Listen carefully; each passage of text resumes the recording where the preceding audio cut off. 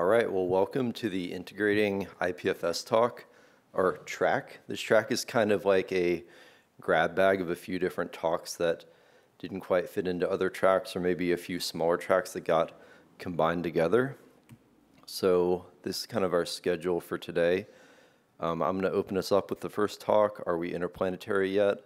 Um, David will be next. He's going to talk about Durin, which is IPFS on mobile. And then Brooklyn will follow after that with decentralizing auth, and you can too.